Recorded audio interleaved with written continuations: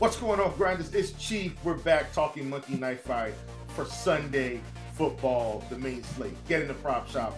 Tons of great things are happening. Listen, we're talking Baltimore. We're talking Miami. Is it more? Is it less? Let's find out. So we've got Tyreek Hill here at 71 and a half yards, and I, I, think Tyreek is going to easily blow through this number yet again. Had 12 targets week one. I'm not saying he's going to pick up 12, but I definitely think if that's the volume we saw, I think 8 to 10 targets is definitely going to be in his wheelhouse. Saw 41.38% of the market share.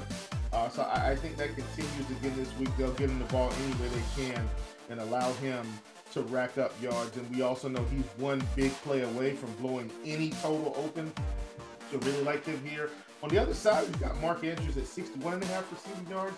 I'm also going to take more on this one. Last week we saw him get a 25% market share. That was good for seven targets.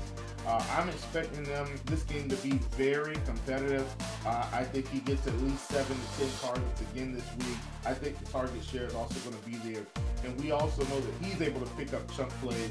You know, 125 yard play here, a 10 yard catch there, an 8 yard catch there. It all adds up, and I think Mark Andrews is going to get this get it that way this week. So love him over 61 and a half. Love Tyreek over 71 and a half. Think this game is going to be very competitive. All right, we've been here talking Monkey Knife Fight. I'll see you back here on Monday, folks, for Monday Night Football.